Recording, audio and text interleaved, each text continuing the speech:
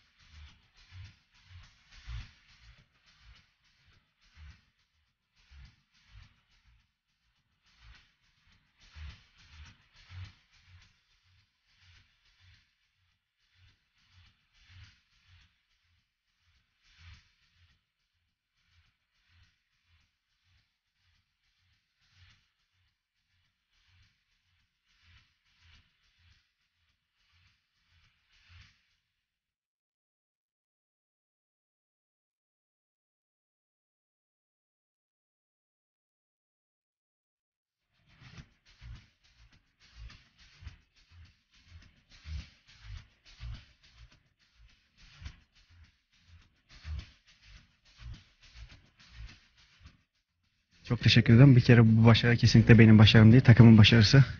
Ee, özellikle hocama çok teşekkür ederim Hamza hocama. Bana şans verdi.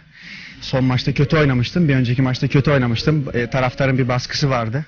Basının bir baskısı vardı ama yine güvendi, yine oynattı beni. Ben de onun yüzünü kara çıkartmadığını düşünüyorum. O yüzden bu galibiyeti önce hocama sonra aileme hediye ediyorum. İyi değil mi hocam? Çalıştığımız gibi. Hocamla çalışmıştık bu şekilde konuşacağımı. Bu şekilde konuştum hocam. Bitti. Bey. Evet, buyurun. tercüman Basın hep yeniliyor Mert. Mert ne diyeceksin? Ee, basın yeniliyor ama her maçta bence daha iyiye gittiğini düşünüyorum. Büyük ihtimalle iki kamp sonra yani bu kış kampı da değil öbür yaz yenebilirler gibime geliyor. Her geçen gün daha da iyiye gidiyorlar. Fark kapanıyor değil mi? Biraz Fark kapanıyor evet evet. Daha önceler biraz daha açıktı. Son maçta biraz daha kapandı. Şimdi biraz daha kapandı. Büyük ihtimalle 2017 gibi. 2017, 2018 bilemediniz. Bence basın alabilir gibi düşünüyorum. Alabilir mi yoksa önce beraberlik mi olur? Alır gibime geliyor. yani o- tabii ki Seni çok iyimser gördük. Ya ben güveniyorum onlara. İyi oyuncuları var. Birkaç takviye ile e, takımın içinde birazcık herhalde gerçi rakip hakkında konuşmak çok doğru değil ama içinde bir birlik bütünlük yok gibime geliyor. Hemen birkaç gol yiyince bırakıyorlar. Biraz daha tutunurlarsa birbirlerine bir de başlarına iyi bir hoca gelirse iyi bir şeyler yapabilirler bence. Peki teşekkür ederim.